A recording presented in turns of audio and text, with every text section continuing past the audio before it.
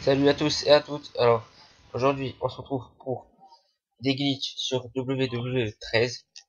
Alors, pour ce premier glitch, vous mettez votre ami dans l'angle, vous lui lancez l'escalier, après vous courez, vous traversez la barrière, vous serez dans le public.